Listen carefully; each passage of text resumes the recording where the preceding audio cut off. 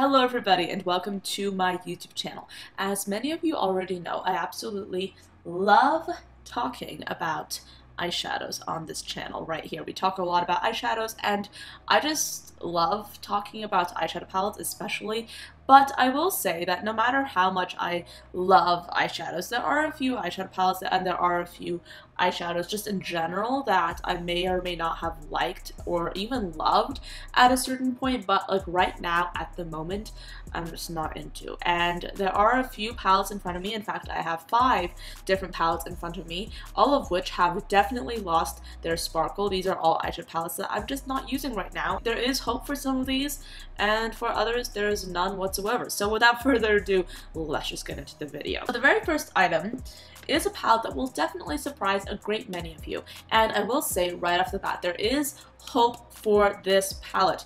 I do think that I will go back to using this palette, but it's just like right now, at the moment, this palette has just lost lost its shine, lost its sparkle, lost its luster pretty much. I'm talking about the Dose of Colors Blushing Berries palette and yes, this palette will probably surprise a great deal, a great deal, a great many of you because like this palette, like in and of itself is so beautiful. I've taken out the brush and I have the brush in my brush collection and I use it all the time. Um, but this like palette is like a cur curated selection of berry tones and that sounds absolutely just yummy, absolutely just amazing. And I actually do use this palette quite a fair amount. I use these two shades a lot. But see, the thing is about having like a curated selection of colors is that a lot of times you don't necessarily reach for that specific palette unless you want to go for that monochromatic kind of look. At least that's my experience. And looking at this palette, I see like just a selection of colors that is so beautiful but then again I can't necessarily bring myself to create a lot of like varied looks with this specific palette and recently I've just stopped uh, reaching for this palette altogether. I do see that like changing. I really do like this palette. The quality is absolutely beautiful but at the moment this palette is just like not it for me and of course that will probably change because the palette itself is absolutely beautiful, but right now it's definitely losing its shine. This next palette is a palette that, um, I keep thinking that I will declutter this palette, but then again, I always persuade myself not to.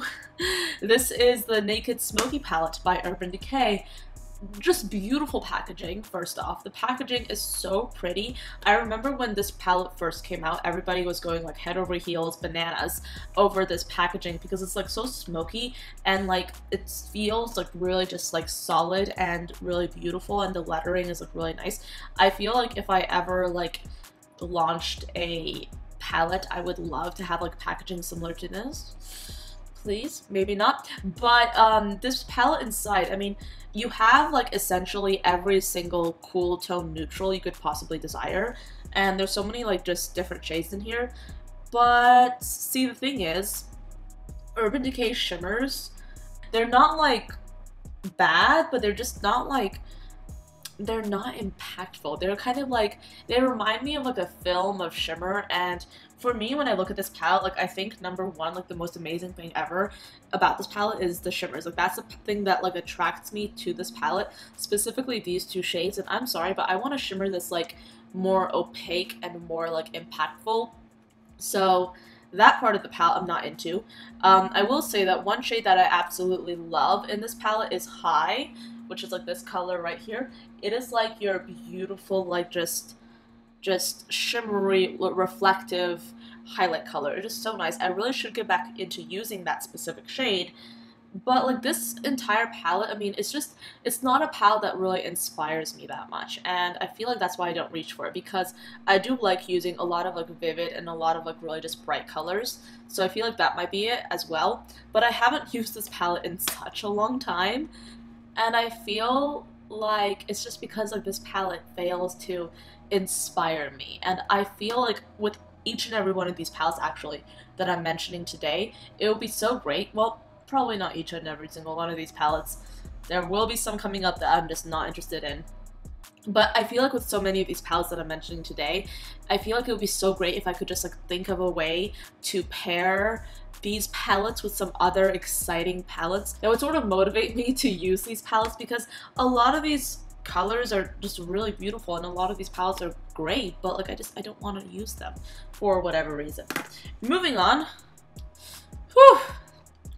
I I feel so bad about this. the ColourPop Mar palette.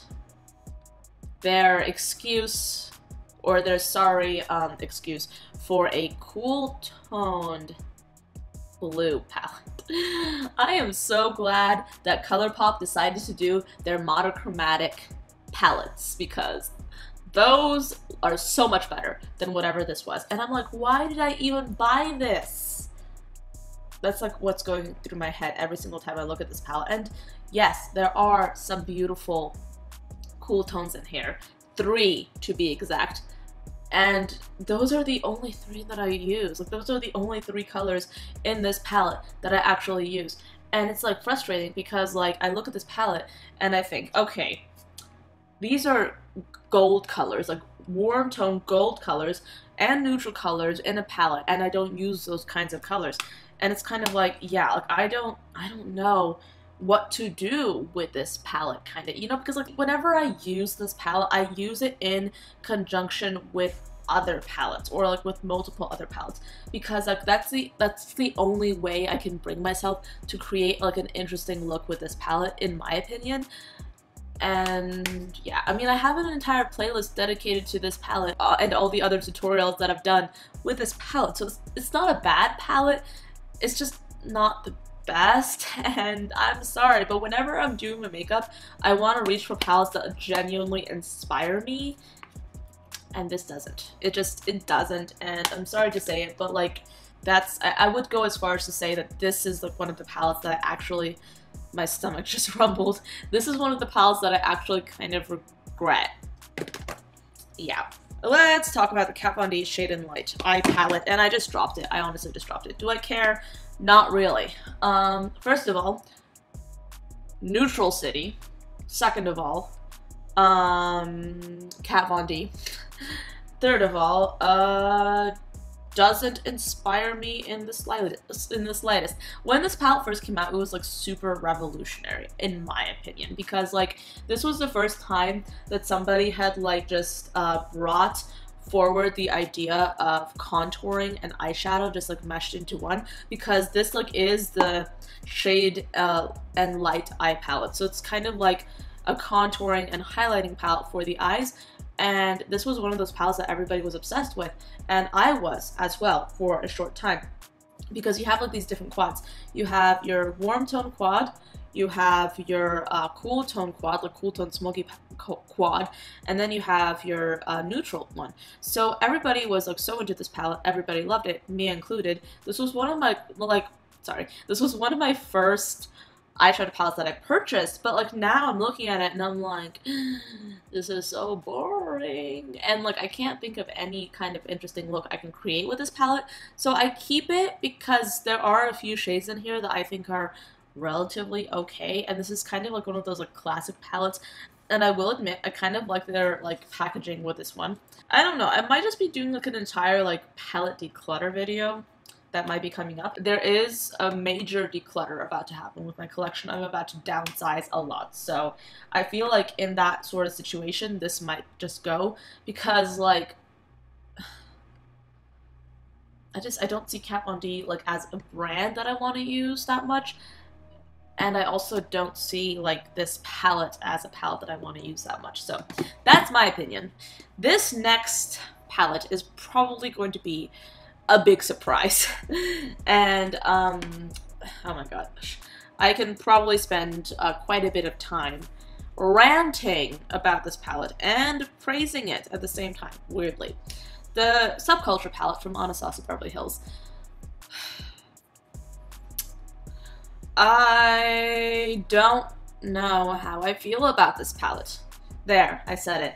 Um, I genuinely don't know how I feel about this palette because this is a palette that is so beautiful to look at. It is simply just amazing. Like, it is a beautiful palette to look at. Like, just look at all these, look at like just look at this like it's a colorful palette number one number two it has so many like truly unique shadows in here but this palette like it makes me like it reminds me of like how bad I am at eyeshadow.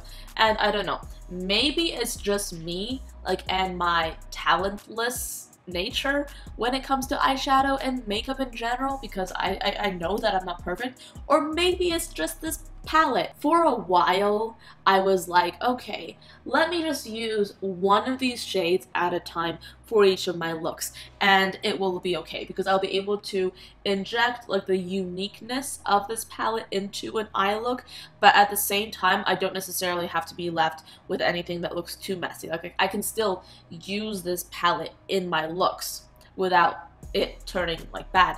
But like I recently, I think it was like a will I buy it video, or I think it was like just like a video tutorial or something.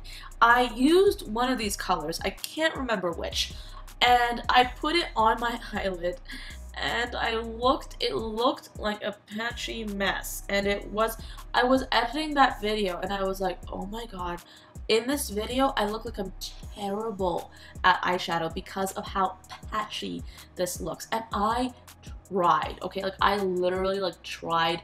And I, this was the oh, like this was one shade that I used from this palette. And all the other shades in that eye look were tried and true excellent eyeshadow shades.